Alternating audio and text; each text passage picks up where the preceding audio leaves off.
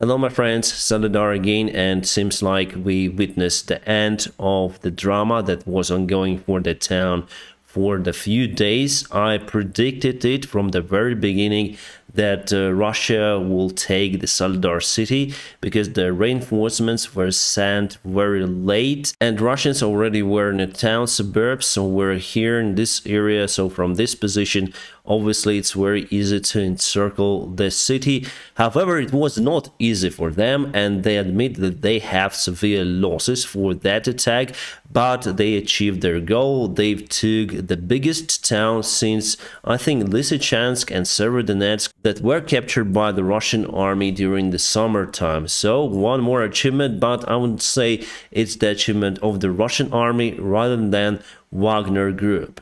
Ukrainian command continued to say that the fight for the Soledar continues, but my friends, we don't have Ukrainian forces in Soledar any longer. I told you about the situation with our guys who were trapped there yesterday. According to the information from the CNN, I got tons of comments saying that I shouldn't trust CNN, but uh, those are the only reporters, the international reporters who were in Soledar before and now they're around four kilometers away from the city and today they've confirmed that they saw how our guys went from the Soledar alive. So it's a good sign. It means that our forces are not trapped there any longer. So yes, the group that was abandoned yesterday, they went out from the city. And I guess this operation was conducted by Ukrainian forces. And I'm very grateful for the international media that rose the topic of our soldiers uh, that were trapped in the Soledar city. So that is why probably our military command decided to conduct this evacuation operation uh, to get our guys away from the trap in Soledar yeah, CNN, they have their own policy, but my friends, their journalists are actually in that place very close to Soledar so they can actually see what is happening. And partially it's correct, the fighting for the Soledar continues, the Ukrainian army continue to use their artillery systems and rocket artillery systems. I'm gonna publish the video on my telegram channel. By the way, my friends, subscribe for me over there to be updated on the current situation. I publish there everything about Ukraine and not only. So I'm gonna publish the video. You'll see how Wagner soldiers are just demolished in Soledar with the help of the HIMARS, but we don't have lots of the HIMARSes. That is why we're quite limited in the use of those systems because I got some of the comments saying that Ukraine should use HIMARS, HIMARS. Yes, but we don't have lots of the HIMARSes. That's the big issue and we are limited in their usage. So I guess we need to switch for the satellite image. Uh, this is the Soledar and here we have just this area that's not yet been taken by the Russian forces or it's better to say Wagner forces.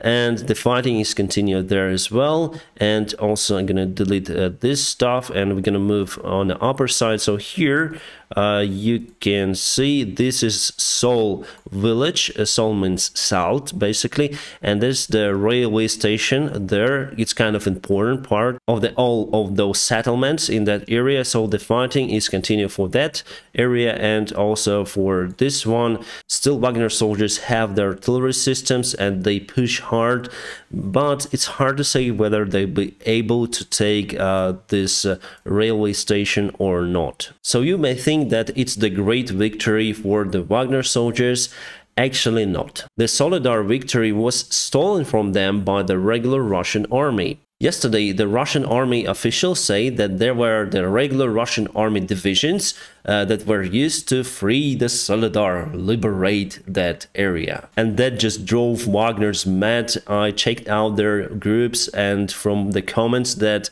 they wrote, my friends, I think their biggest enemy is not Ukraine, but the Russian army itself. And today, after many of the complaints of the Wagner soldiers and their supporters, and probably the part of the Russian elite that supports Prigozhin, finally, the Russian army put uh, the Wagner but at the very end of the briefing and just on the telegram. And today Prigozhin said that he will not comment on the situation with their stolen victory because the boat is already shaking. He said this, the boat is shaking. It means that they have the deep conflict between the official Russian army and the Wagner soldiers. And also with the new chiefs of the Russian army, the conflict will be deeper. Gerasimov. He's so hated by the Wagner group and they use uh, many bad words in his address. But Gerasimov now is controlling all of the forces that are used in operation, let's say, in Ukraine, including Wagner group. So he is the chief of Prigozhin right now and General Surovikin was dismissed. He was supporting Wagner.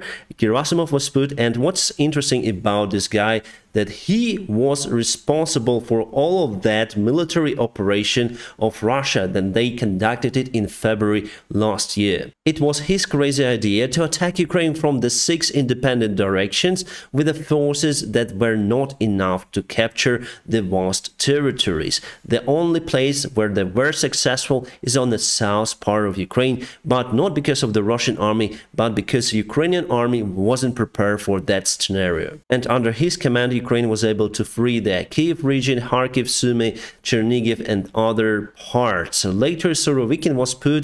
He was there in position for three months. All of the Russians were saying that he's the mighty general, and now he's dismissed with this Again, one more loser, General Lapin, was upgraded to the commander of the Russian ground forces, and he's also a great enemy to the Wagner group. So what I think is happening here, my friends, that Putin is promoting his own generals. They're not very talented, but he trusts them. At the same time, uh, the regular Russian army doesn't fight well. Uh, the only force, as you can see, is capable to get the towns under control and some of the territory is the Wagner group they are well organized, they have better equipment, they have better, let's say, morale and discipline within the Wagner group, and as you can see, they can win. But the Russian army can just take this victory. So Prigozhin said before, like two days already, he's saying that the only Wagner soldiers were involved in liberation of the Soledar.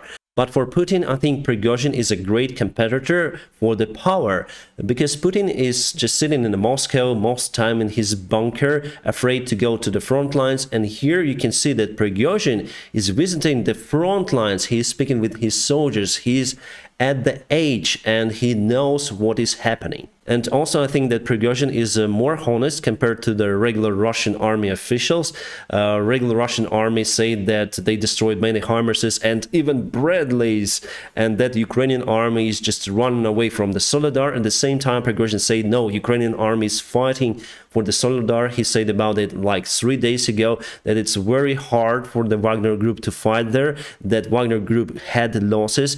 And there were tons of the videos with Prigozhin that he actually showed his dead soldiers in uh, those packages or whatever. So he claims that they have severe losses. Yes, he said it's usual for the war. So he is our enemy, obviously, but I think we have more respect from him and compared to the regular Russian army, which is actually, they're just clowns and why the Soledar operation was successful for Wagner because they used trained soldiers rather than prisoners for this particular operation and they used prisoners basically as the cannon fodder mostly as it happens in Bakhmut but here they were more successful. So since the summertime we witnessed with you how Prigozhin gained some of the duties of the Russian president. He actually went to the Russian prisons and was able to cancel all of the legal jurisdictions over the prisoners prisoners, and prisoners are getting just released to fight for the Wagner group, and if they survive for six months,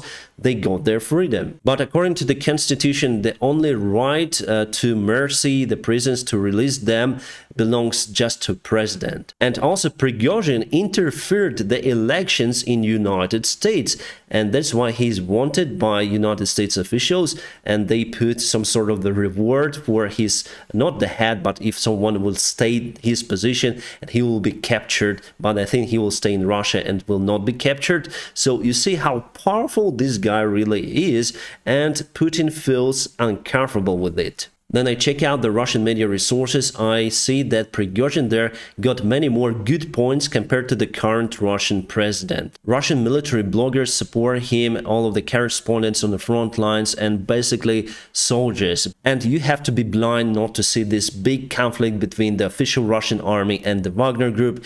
And I'm very happy that they have this conflict because for Ukraine, it's great. And we're going to see how this conflict develops in the future but from today's Prigozhin's uh, reaction I may say that he lost I think temporary because he basically lost the most part of his army in Bakhmut and Soledar maybe it was the plan of the Russian administration to let the Wagner group uh, to lose their army in Bakhmut and Soledar. They have severe losses and now Prigozhin has less power with less army. Who knows? But what we see here that because of the Wagner, Putin have to put incompetent uh, managers in his army. Those are his friends, but they're in lack of competence and they will lose everything. And I'm sure that Russia is gaining resources to strike Ukraine again, probably during the springtime. They will announce massive mobilization. Once again, it's 100%. Today, they rose the maximum age for the newcomers, privates, uh, to the Russian army, which is obligatory. It was 27 and became 30 years old, so they will have more pool of the people. Plus, they cancel the restriction for the Russian fathers. If you have many kids, it doesn't matter. You'll go and serve in Russian army.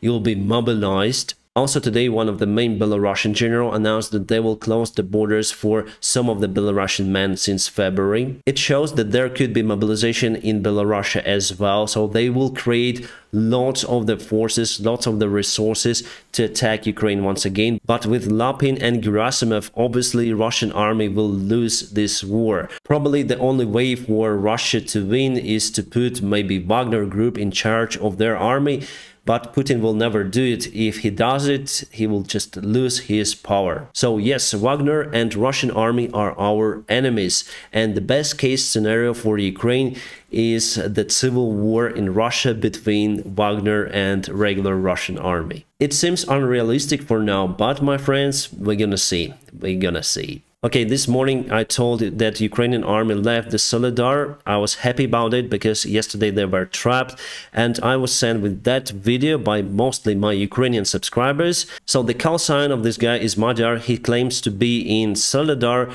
and he's filming from the same position for two days but he is not filming from his camera or something. He films from the drone. He said that we are flying in Soledar you see. Uh, but if you're familiar with the DJI software you'll see that the battery here you see this amber arc and the red arc so the further you fly, the longer it is showing that you'll have the critical battery to return home. And from this picture, I may say that this drone is kind of far away from his position and he's not in Soledar. I think that he's near to the city and says that Ukrainian army continued to fight for Soledar. As I say to you, partially it's true because we continue to use artillery systems, but there are no any troops inside the Soledar. And yes, with that screenshot, I may say that the drone is very far away. The distance is 3,477 meters. The altitude, I think, is 740 meters. For altitude, uh, the are blurred, it's hard to say. And if you say to me that I open some sort of the secrets, positions, etc., uh, my friends, uh, those guys published the video on open sources and I got it from the open sources. For me, I want to find out that our soldiers were evacuated from Soledar or not. That is why I dig deeper and here I must state that our soldiers are not in Soledar according to this video. They were left abandoned yesterday. Luckily today they evacuated and I'm showing to you that Yes, our soldiers, including this guy, they are not in Soledar. And that's why I was very satisfied with the message from the CNN. You may hate this resource, you may like this resource, but they are there on the front lines. They are journalists and they witnessed, uh, witnessed that the Ukrainian forces, uh, troops went out from the Soledar afternoon, so this afternoon on Friday, in what appeared to be an organized pullback. Organized. It means that our military command finally evacuated our soldiers from that place. It's the great stuff, my friends. It shows that our military command takes care about our soldiers. But I think it happened just after CNN wrote about it in their yesterday's article. So they say there were no any sense of panic, nothing. Our forces just left that area. Could be negotiations with Wagner. Who knows? The main thing is to save our guys from Soledar. But this is what the Russian peace looks like. They destroyed the Artemsil uh, salt mine factory, the biggest one in Europe. It's just demolished by the artillery fire. Most of the buildings in the city have been destroyed. However, from the information I have, there were around 300 civilians who stayed in the city. I wonder why they didn't choose to evacuate, but uh, from our side, we cannot force people to leave their homes. Our soldiers cannot grab them out from their houses. It's uh, against the law. So if they want to stay, we cannot do anything with it. And they stayed there. And luckily, many of them survived, I hope. The German defense minister resigned from her position. You may Google her name. I just forgot honestly and she appeared to be one of the most hated officials in Germany by the German society I wonder why then I post this on telegram I got some of the nice comments from the Germany public saying that it was a goodwill gesture from her side and it's great that she resigned if you support it it means that it's okay and probably Leopard deal was involved. In that case, we don't know uh, many of the things that happen behind the curtains. And Germany will announce the decision uh, next week to supply tanks to Ukraine.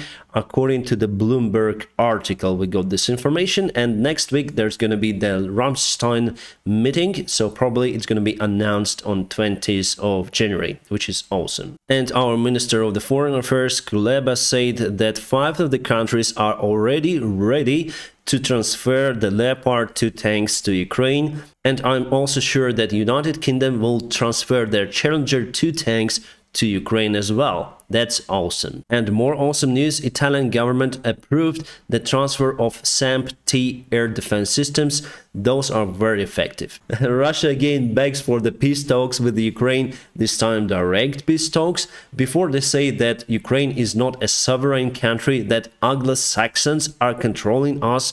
So why should you have the direct peace talks with Ukraine if we controlled by other countries? As you can see, Russia is always into the conspiracy theories and that came out from the International Ministry Foreign Affairs of the Russian Federation and it happened simultaneously with the United Nations address uh, from Nebenzya, a representative of the Russia in United Nations. He also said that Russia wants the peace talks as soon as possible, but we all know that it's just a temporary solution. If fighting stops, uh, it will let Russia to reinforce their army and attack Ukraine with the new forces. We don't need that. And China continued to support Russia. They say that the supplyment of the weaponry to Ukraine will deteriorate the situation and may escalate the situation into the higher level of confrontation. Yeah, communists are always on the same side. And now I just want to show you the timeline of the Soledar drama and how it's over today. So Russians were very close and every day they went closer and closer. By this time, I already said that we need to get out from the Soledar. It's too late to send the new reinforcements uh, and Luckily, today we were able to evacuate from that area and now Russia is advancing towards Krasnohora, the small village on the southwest part from the Soledar city.